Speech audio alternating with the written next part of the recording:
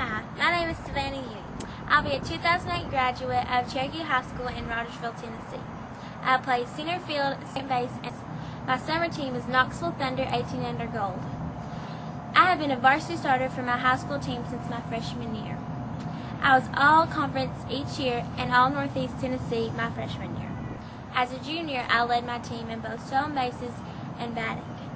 In college, I plan to pursue a degree in either journalism, communications, or public relations.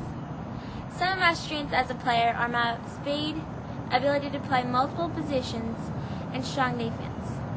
I'm looking forward to being part of a competitive softball program that will enable me to grow both as a person and a competitor. Thank you for watching my video and I hope to hear from you soon.